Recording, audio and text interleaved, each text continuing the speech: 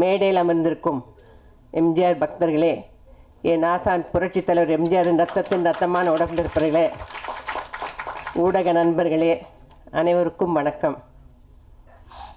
புரட்சி தலைவர் எம்ஜிஆர். அதாவது முப்பது ஆண்டு ஆயிடுச்சு. ஆனாலும் இப்போ இன்னும் ரொம்ப மிஸ் பண்ணுறோம் அவரை. அதாவது அவர் செஞ்ச ஒவ்வொரு காரியமும் என்னை உருவாக்கியவர் அவர்தான். என்னை உருவாக்கியவர் கல்லாய் இருந்த என்னை சிற்பமாக செதுக்கியவர் புரட்சித் தலைவர் எம்ஜிஆர். நான் நிறைய நடிகர்களோடு நடிச்சிருக்கேன். புரட்சித் தலைவர் எம்ஜிஆர் சிவாஜி சாரோட ஒரே ஒரு படம் தான் பண்ணியிருக்கேன். என் டி ராமாராவ் நாகேஸ்வர் ராவ் அப்படி தமிழ் தெலுங்கு கன்னடா மலையாளம் இரநூறு படங்களுக்கு மேலே நடிச்சிருக்கேன். ஆனாலும் இப்போ எங்கே பார்த்தாலும் எம்ஜிஆரில் தான். அவரோட நடித்தது தான் இன்றைக்கு வரைக்கும் எனக்கு அந்த பேர்.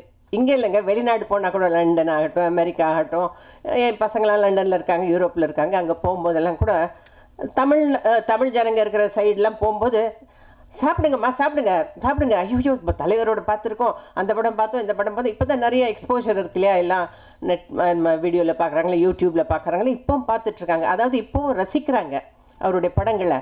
ஏன்னா அவர் நடிகர் மட்டும் இல்லை சிறந்த ஒரு அரசியல்வாதி சிறந்த மனித நேயர் அதுதான் அவருக்கு இன்றைக்கும் இப்போ எல்லாரும் சொன்னாங்க அந்த அந்த சீன் அந்த ட்ரெய்லர் பார்க்கும்போது எனக்கு ஒன்றுமே நெஞ்சு அப்படியே ஒரு மாதிரி நெகிழ்ச்சி செய்தது. அதாவது ஒரு குழந்தையாக இருக்கும்போது சாப்பாடு எடுத்து வைக்கிறாரு பாருங்க. அதுதாங்க. ஏன்னா எனக்கே ஒரு இன்சிடெண்ட் இப்படி வந்து எனக்கு வந்து நல்ல ஞாபகம் இருக்குது உரிமை குரல் படத்தில் நடிக்கும்போது நான் ஒரு பத்து நாள் ஷூட்டிங் ஆகிடுச்சு ஸோ அது தாண்டி ரெண்டு நாள் எக்ஸ்டெண்ட் ஆகிருந்தது அப்போது டைரக்டர் ஸ்ரீதர் கிட்ட எனக்கு அந்த திருப்பதி போக வேண்டி இருந்தது நான் வந்து எல்லாம் ஏற்பாடும் பண்ணிட்டேன். ஸோ டைரக்டர் ஸ்ரீதர்கிட்ட சொல்லிட்டு சார் நான் வந்து நாளைக்கு திருப்பதி போனோம். நான் வந்து நாளைக்கு ஷூட்டிங் வர மாட்டேன் என்னம்மா அப்படி சொல்கிறேன் தலைவர் அவர் கால் ஷீட் கொடுத்துருக்காரு. எப்படி?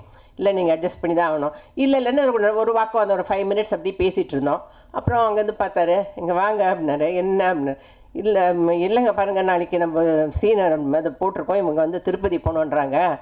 அப்படின்னா ஆமாங்க. அம்மாவும் சொல்கிறாங்க நான் போகணும். அப்படின்னேன் சரி ஒரு- ஒரு ஃபைவ் மினிட்ஸ் ஒரு ரெண்டு நிமிஷம் அப்படி யோசிச்சாரு. போகணுமா சரி விட்டுருங்க. மத்தியானம் காய்ச்சிட்டு வந்துடும் அவள் திருப்பதி போயிட்டு வந்துட்டோம் காலையில். காலையில் போயிட்டு மத்தியானம் வந்த உடனே மத்தியானம் டூ டூ நைன் இன்னும் கொஞ்சம் வேணால் எக்ஸ்டெண்ட் பண்ணலாம் அப்படின்னு. அது ரொம்ப தேங்க்ஸுங்க சரி சரி காலையில் சீக்கிரமாக போயிட்டு வா. என் வண்டி எடுத்துகிட்டு போ அப்படின்னாரு. ஒரு இம்பாலா வண்டி வச்சுருந்தாரு. என் வண்டி எடுத்துகிட்டு போ. நீ போயிட்டு சீக்கிரமாக வந்துடு அப்படின்னாரு. சரிங்க நானும் காலையில் அஞ்சு மணிக்கே புறப்பட்டு போயிட்டேன். அம்மா நானும் தான் போனேன். அப்போ வந்து வீட்டில் வந்து என் தங்க தம்பி தங்க எல்லாம் இருந்தாங்க வீட்டில் ஸோ நான் போயிட்டேன். போயிட்டு திருப்பதி இப் அந்த திருப்பதி போயிட்டோம். போயிட்டு வர வழியில் கார் வந்து ரிப்பேர் ஆகிடுச்சு இப்போ இருக்க மாதிரி ஃபோனெல்லாம் போட்டு சொல்ல முடியாது. வாட்ஸ்அப்பும் அப்போ அந்த கால் இந்த கால் எல்லாம் லைட்னிங் கால் போட்டால் கூட கிடைக்கல. எனக்கா டைம் ஆயிடுச்சு. எனக்கா ஒரே யூஜோ கால் ஷீட் போட்டிருப்பாங்களே உள்ள ச- சத்யா ஸ்டுடியோவில் தான் செட் போட்டிருந்தாங்க. சத்யா ஸ்டுடியோ போகணுமே. எப்படி? எனக்கு ரொம்ப பயந்துட்டு இருந்தேன். பார்த்தோன்னா ம மத்தியானம் வரைக்கும் முடியல. அந்த ரிப்பேர் பண்ண முடியாது தகவலும் தெரிவிக்க முடியல. சரி எப்படியோ இது பண்ணி ரெண்டு ரெண்டு வாட்டி ரிப்பேர் மறுபடியும் மறுபடியும் வந்து மறுபடியும் ரிப்பேர் ஆகிடுச்சு அப்போ எனக்கா ஒரே டென்ஷன் ஆயிடுச்சு மணி மூணு ஆயிடுச்சு மூணு நாலு மணி ஆயிடுச்சு. நாங்கள் சிட்டிக்குள்ளே வரும்போதே அஞ்சரை ஆறு மணி ஆயிடுச்சு. எனக்கு ஸோ அப்புறம் வந்து தகவல் வந்து சத்யா ஸ்டுடியோக்கு எங்கேருந்து ஃபோன் பண்ணால் இல்லை ஷூட்டிங் கேன்சல் ஆகிடுச்சு அப்போ நான் நினச்சேன் எனக்கு இது இருக்கு இருக்கு இருக்கு அப்படின்ட்டு மாட்டினேன் நான் நல்லா. ஸ்ரீதரன் சொன்னார் போகாதேன்னு இப்போ நான் நான் சொன்னதால் எப்படி இருந்துச்சு ஸ்ரீதர்கிட்டையும் இருக்குது தலைவர்கிட்டையும் இருக்குது எனக்கு நல்லா மாட்டினேன்னு நினச்சி நான் வந்து வீட்டுக்கு ஒரே டென்ஷனாக வீட்டுக்குள்ளே வர கார் நிற்குது உள்ள. அவர் கார் நிற்குது ஐயோ கார் நிற்குது டென்ஷனாக அந்த வீட்டில் வந்து இப்போ எனக்கு இருக்குது அப்படின்னு. சரி உள்ளே நானும் அம்மாவும் அப்படியே உள்ளே வந்து பார்த்தா எனக்கு ஒரே ஷாக்கு என்னன்னா என் தம்பி தங்கச்சிங்களாம் உட்காந்துட்டு டேபிளில் சாப்பாடு பரிமாறிட்டுருக்காரு எனக்கு அப்படியே நெகிழ்ந்து பண்ணானுங்க என்ன அந்த பயமான பார்த்து ஏன் பயப்படுறவா அப்படின்னாரு. அது பார்த்து எல்லாருக்கும் அவங்க வீட்டிலேருந்து கொண்டு வந்து ராமாவர தோட்டத்துலேருந்து சாப்பாடு கொண்டு வந்து எல்லாருக்கும் வச்சுட்டு நீயும் பசி வந்து இப்போ சாப்பிடு அம்மா வர சொல்ல சாப்பிடுங்க முதல்ல அப்படின்னாரு. இல்லைங்க சாரி நான் வந்து லேட் ஆகிடுச்சு நான் சொன்னேன் அதெல்லாம் அப்புறம் பார்த்துக்கலாம் நான் சொல்லிட்டேன் ஸ்ரீதர்கிட்ட நாளைக்கு போட்டுக்க சொல்லி. இது தாங்க அதுதான் மனித நேயம். அதுதான் that is one and only MGR ஒரே ஒரு சந்திரன் ஒரே ஒரு சூரியன் ஒரே ஒரு எம்ஜி ராமச்சந்திரன் தான் இன்றைக்கி யார் யாரோ நடிகர்கள்லாம் வரலாம் வரலாம். யார் வேணால் வரலாம். வந்து அதை பற்றி நான் எதுவுமே சொல்ல விரும்பலை. யார் வேணால் வரலாம். ஆனால் புரட்சி தலைவருக்கு ஈடா இணையா யாரையுமே வைக்க முடியாதுங்க. பெரிய அறிவாளி மாதிரி சில பேர் பேசுவாங்க. இப்போ தான் ஹார்வர்டில் படிச்சுட்டு வந்த மாதிரி பேசுவாங்க. இப்போ தான் பெரிய தமிழில் அப்படியே பெருமை புலமை வாய்ந்தவங்களாக பேசுவாங்க. ஆனால் ஒரு பாமரன் நெஞ்சை எப்படி தொடணுன்றது புரட்சி தலைவர் எம்ஜிஆர் ஒருவருக்கு அவருக்கு தான் தெரியும். இந்த படத்தை பொறுத்த வரைக்கும் இப்போது பாலகிருஷ்ணன் அவர் தான் வந்து நான் வந்து நீங்கள் வரணும் அப்படின்னாரு. நான் சொன்னேன் ஏன்னா நிறைய பேர் வராங்களேங்க. அப்புறம் நான் எதுக்கு இல்லை இல்லை நீங்கள் வந்து உங்கள் அனுபவங்களை பகிர்ந்துக்கணும் அப்படின்னாரு. ஸோ வந்தேன். ரொம்ப நல்லா இருக்குது. அதே மாதிரி நடிக்கிறவரும் நல்லா சூட் ஆகிருக்காரு அந்த கேரக்டருக்கு இந்த ப படத்தை பொறுத்த வரைக்கும் நல்ல ஒரு வெற்றிகரமான படமாக அதாவது இப்போ இருக்கிற தலைமுறைக்கு புரட்சி தலைவருடைய பெருமைகளை அருமைகளை உணர்த்துகிற படமாக அமையும்னு நிச்சயமாக நம்புகிறேன் அதுக்கு தகுந்தபடி அவர் இப்போ என்ன எனக்கு முன்னால் பேசுனவங்க நிறைய பேர் சொன்னாங்க நிறைய விஷயங்களை சொன்னாங்க. அதே மாதிரி ஏன்னா மனிதநேயம் இன்னொன்றும் சொல்ல வர்றேன். இப்போது டாக்டர் பழனி பெரியசாமி அவர்கள் பேசினாங்க. சொன்னாங்க அமெரிக்கா போனது. நானும் புரியத்திலோடு நிறைய ஊருக்கு போயிருக்கேன். செவன்ட்டி ஃபோரில் வந்து ரஷ்யா அப்புறம் வந்து யூரோப் லண்டன் அப்புறம் சுவிட்சர்லாண்டு எல்லாம் போயிட்டு அப்புறம் கிழக்கு ஆப்பிரிக்காவில் ராஜு படத்துக்காக லொக்கேஷன் பக்கம் போனோம். ரஷ்யன் ஃபிலிம் ஃபெஸ்டிவலுக்காக போனோம். அப்படியே போயிட்டு வந்தோம். எதுனா இப்போ வந்து ஒரு ஜப்பான் போனோம் முதல் படமே ஜப்பான் ஹாங்காங் சிங்கப்பூர்லாம் போனோம். அப்போ வந்து நாகேஷ் சார் வந்தார் எங்களோட ஜப்பானுக்கு. அதை வந்து நாங்கள் போய் டோக்கியோ வந்து ரா- நாகேஷ் சாருக்கு வந்து மது அருந்துற பழக்கம் இருந்தது. ஆனால் இவர் தலைவர் வராருன்னு சொல்லிட்டு அவர் வந்து அதை வந்து குடிக்கல. குடிக்கல. அப்படியே வந்து அவனா ரொம்ப ஒரு என்னமோ ஒரு வித்ட்ராவல் சிம்டம்னு சொல்லுவாங்களே அந்த மாதிரி டோக்கியோ ஏர்போர்ட்டில் இறங்கினோடனே அப்படியே ஃபிட்ஸ் மாதிரி வந்து விழுந்துட்டார்.